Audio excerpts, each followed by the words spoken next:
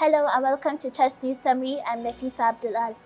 Many Nigerians expressed disapproval and anger to government's plans to borrow $1.5 billion and another 0.9 billion euros as external loans.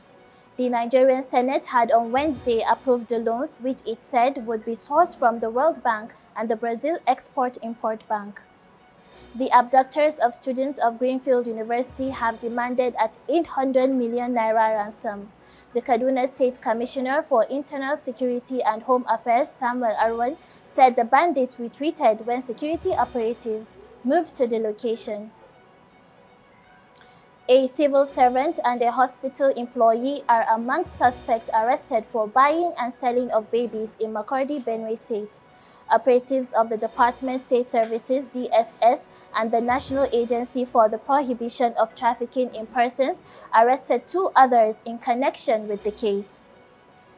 There is a major shakeup in the police force as senior officers attached to the Economic and Financial Crimes Commission, EFCC, are recalled. Acting Inspector General of Police Alkali Baba pledges to introduce new strategies in the fight against criminality. I have also promised to do my best to change the narratives as far as internal security is concerned in this country. On the business scene, the International Air Transport Association, IATA, estimates $47.7 billion as after-tax losses forecast in 2021.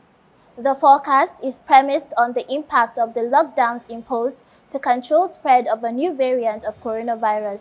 The report, however, indicates that losses will be minimal in the African region because of relaxed travel restriction.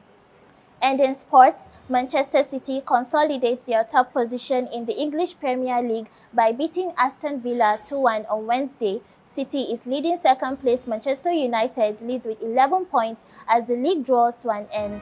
And that wraps it up for our package today. I'm Nafisa Abdulal. Thank you for joining me.